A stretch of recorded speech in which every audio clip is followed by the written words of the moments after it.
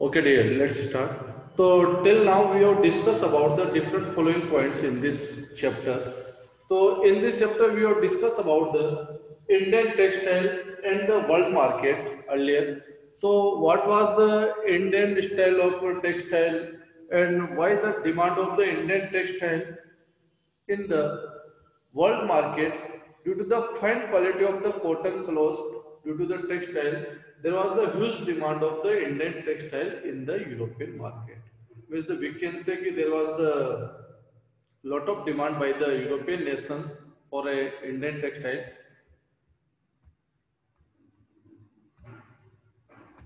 Due to the fine quality of cottons. Second point we uh, earlier we have explained world tell us histories. Words tell us means the different words used for the to describe the different pattern of clothes. Like a muffler earlier time that known as the we are using in a neck or a scarf.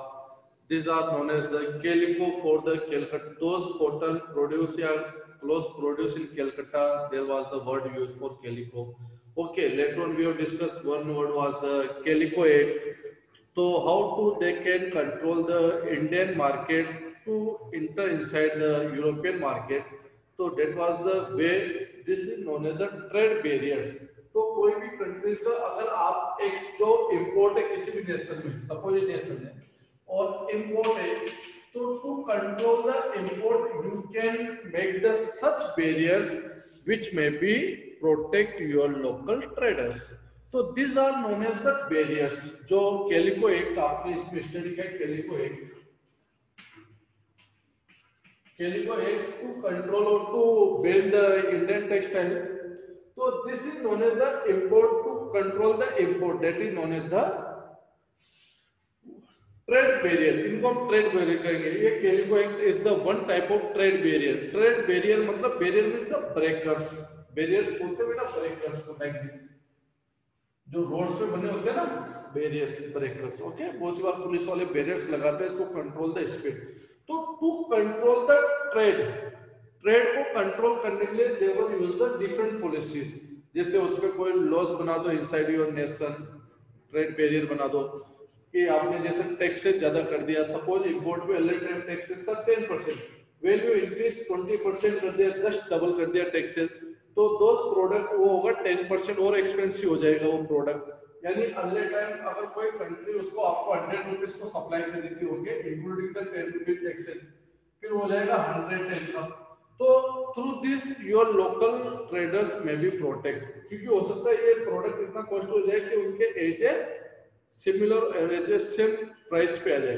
तो this is known as the trade barriers you will study in class 10 trade barriers क्या होते हैं? How to we control the export and import through the trade barriers of how to we control export export जो होता है निर्यात।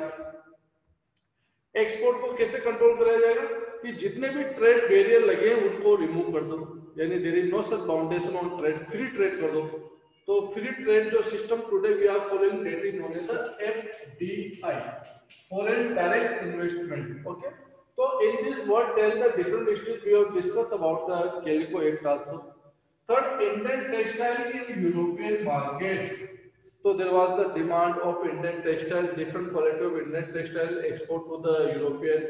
They purchased the raw material from there. There were many British companies they set up to produce the cotton, to sort they set up the industries, cotton textile industries inside the India. Who were the viewers? These are the person who prepare those who play the important process important role in uh, cloth making process yani this was the input yani important जो process होती थी to make the clothes अब you are studying class 7 there was the one chapter related to the swapna swapna there was the one chapter swapna sell her cotton to the traders later on traders supply to the particular trade who purchase the cotton after purchasing the cotton a trade supply to the till now okay swapna means the farmers we can say pigeons pigeons sell to the trader traders sell to the purchase by the yeah those who is the businessmen or who want to start their business in textile textile let they hand over to the weavers ये किसको hand over करेंगे? Viewers को। To make the different quality of cloth weavers hand over the cloth ये cloth को hand over करेंगे। Okay फिर cloth goes to the factory factory में जाएगा।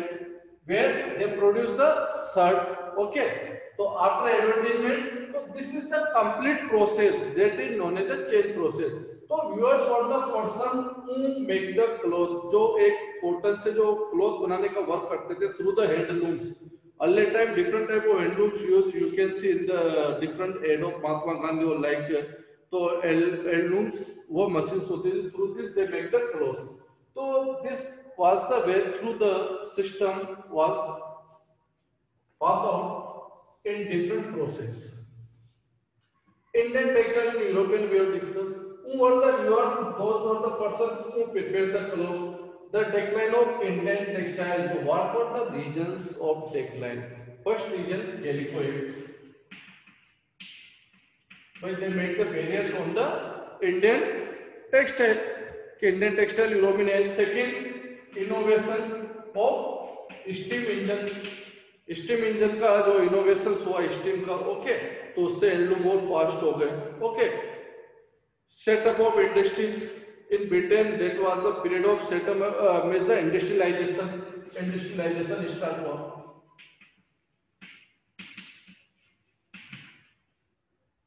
Industrialization in Europe nation. So these were the regions. That's why because uh, their product product is cheaply available compared in the Indian textile. That's why that was the period of decline. This question also given in your NCERT book. What were the reasons behind the decline of Indian textile? So this topic is too much important here. Hallelujah. A cotton mill come up. First cotton mill set up in Bombay. After that, within few years, 50 mills set up inside the India. But no one Britishers who want to promote the cotton mill because they know very well that if we promote the cotton mill, so who will purchase our final product? Yani those industries were set up inside the Britain or European nations. So those cotton produced by the European nations, so where they sold out? Because India is the largest market, market means the why? Due to the population. Population ज़्यादा थी तो there was huge demand जहाँ population होगी वहाँ demand increase होगी जब demand increase होगी तो यू नो नेचुरली आप सप्लाई कर सकते हो वहाँ पे। तो यूरोपियन नेशंस के लिए ऐसे कॉलोनियल कंट्री क्यों बनाए गए थे? In search of for the trade business purpose से बनाए गए थे। न कि रूलिंग पर्पज से। पहले वो यहाँ ट्रेड करने आए थे Britishers they came here for the trade only first priority क्या थी? ट्रेड की बेटा। बट व्हेन दे फील कि दे अनेबल टू ट्रेड और they are paying the lot of taxes to the different नवाब और person Of that, they fought the important war like a war of Plassey, war with the Sirajudullah or uh, Mir Jafar, Mir Qasim, or finally they declare himself as the Nawab. So earlier I explained this chapter earlier. So they earlier came here for the only trade, but later on they follow the administration part also. So this was the way cotton mills were set up inside the India. Up today we are we will discuss about the key how in India produce the fine quality of the steel with the goods. So today we discuss the sword of Tipu Sultan and some details about the disco plant. You know, a sword was famous for the too much the like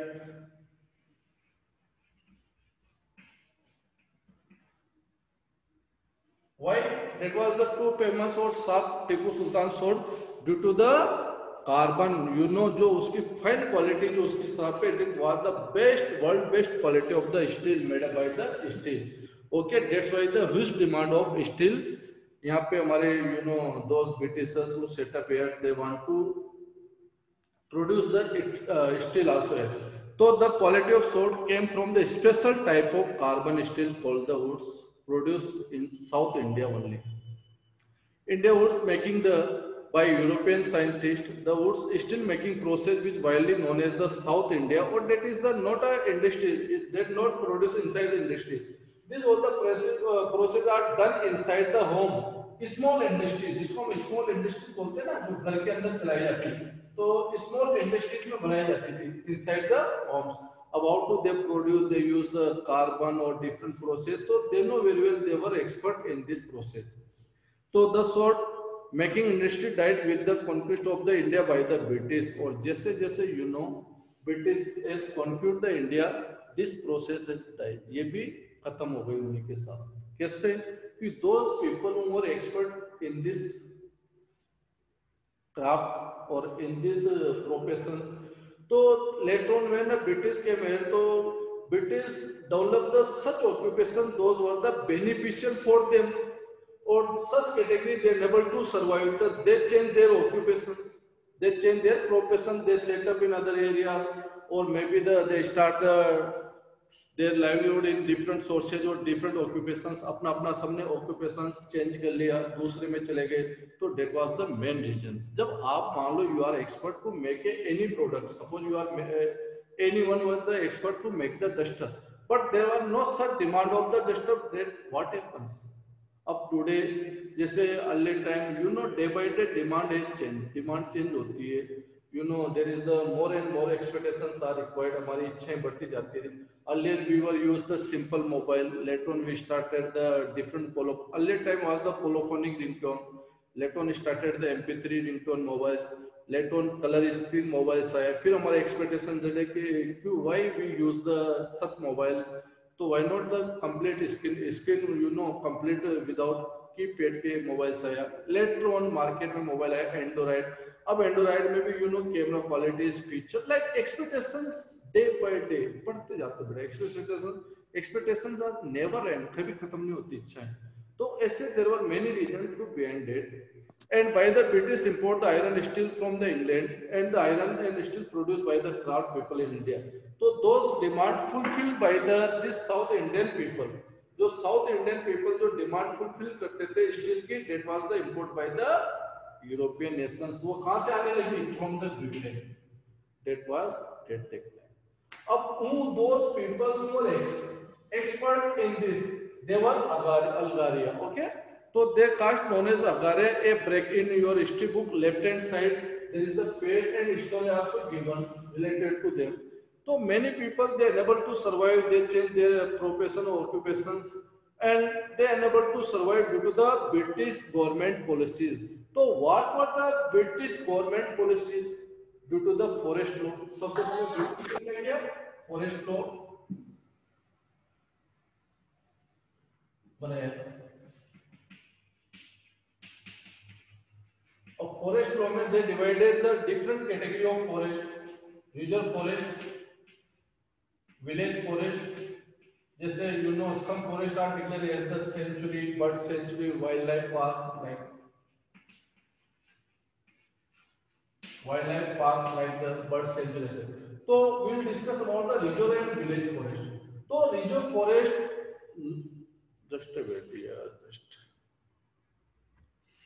in reserve forest only such people may be can enter after permission of the particular officer तो pass was allocate इसके लिए एक pass बनाया जाता था, जिसके अंदर they can enter inside the forest जैसे कोई भी यू नो नोमेडिक से दोज द केटल जो केटल को इनको पालता है। तो you know such people may be enter inside after pass और permit this pass you will study nine that's why I am repeating this topic तो pass and permit तो on the permit you know number of days were mentioned कि five to six days you can stay inside the forest तो on that you pay the charges जो भी charges होते थे pay किए जाते थे तो that reserve forest means the many people who were expert in the steel work or those who were collect the wood from the forest जो forest से wood लकड़ियाँ collect करते थे तो they unable to enter inside the village okay तो they can't enter inside the such forest villagers can't enter inside the forested that's why this industries what देख रहे second they declare the village forest अब village forest means the suppose anyone village may be set up inside the forest area village उसके अंदर stay कर सकते हैं villagers inside the forest area but there is the one condition कि when Britisher need any help from the villagers, as a labor. What type of help ये भी मैं explain कर रहा हूँ. एज ए लेबर तो as a labour when a Britisher need the help तो they will provide the free labour villagers को क्या करना पड़ेगा? फ्री में लेबर प्रोवाइड करनी पड़ेगी. अब व्हाट टाइप ऑफ़ वर्क जैसे suppose for timber are required to make the furniture ship और ये बनाने के लिए जो जहाज़ बनते हैं यू नो नेविगेशन शिप तो फर्नीचर्स आर रिक्वायर्ड जैसे तो to load for loading purpose labour are required तो such village to stay inside the forest they provide the labour for petitions without any charges तो this are the way that's why the this caste is migrated or shifted to the other professions so, again, i am explaining the point. तो production of wood steel high high carbon quality steel बोला जाता है was highly specialised by the technique and refining of iron जो refine किया जाता है iron and अब देखिए टू डेज़ आयरन में अभी you know there is iron pillar inside the Delhi आज तक भी उसमें कोई जंग और कोई चीज़ नहीं लगी बट डेट अर्ली टाइम जो best quality of iron produce by the Indians आज वो चीज़ें नहीं मिल सकती। By the late nineteen century craft and the iron smelting industries decline because forest protection law impose by the Britishers many people gave up their craft and they search they started migration in search of new work तो they started work inside the for a infrastructure work, labour work loading work तो ऐसे occupation work उन्होंने start कर दिए। That's why this occupation were decreases left hand side in your book reasons are given अब today we are discussing last topic what was the Tisco plant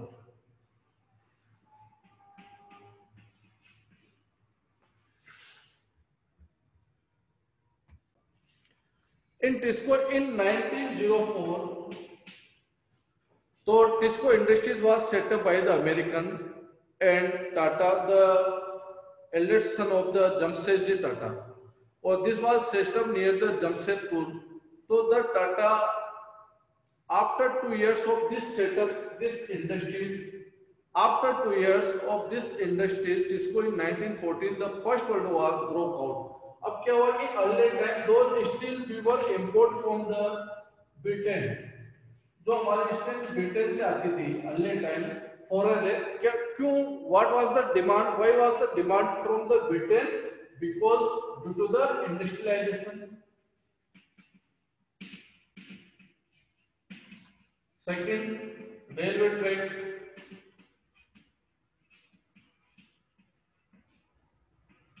third infrastructure infrastructure मतलब building और ये सब बनती है, इनमें स्टील और iron की रिक्वायरमेंट होती है। तो during that time first world war broke down 1914 में जब फ़र्स्ट वर्ल्ड वॉर स्टार्ट हो गया तो they their supply was cut off इनकी जो यहाँ से ब्रिटेन से सप्लाई आ थी क्या हो गया? कट ऑफ़ हो गई। लेट्रोन व्हाट हैपन तो most of 90% steel was supply by the Tisco plant पूरी 90% जो स्टील किसके द्वारा सप्लाई की जाने लगी? Through the steel plant inside the India तो that's why the that was the time एक तो किसी चीज़ का इंस्टॉल करना, मे बी सेटअप करना और as a same time it may be give the chances और स्कोप फॉर द प्रोडक्शन तो there was the huge demand of the steel. 90% demand was fulfilled by the Tata Iron and Steel Company. So this is the topic given in your book related to the Tisco plant, how they set up. There is the interesting story given in your book. मैं explain कर देता हूँ कि when they were searching in Jharkhand or Jamshedpur areas, where they set up the industry. So to set up the industry, uh, industries, few factors are required. What are the factors are required to set up the industry? This topic is not concerned with your means the related chapter. इस chapter से related नहीं बेटा. It not concerned with the history. Okay. This is topic for your general knowledge. So what are the different factors required to set up the industries? First, without the raw material, industries can't run. A raw material is required. Now, what are the raw materials? Suppose you want to set up the cotton textile industries, so cotton is required. You want to set up the cement industries, so limestone is required.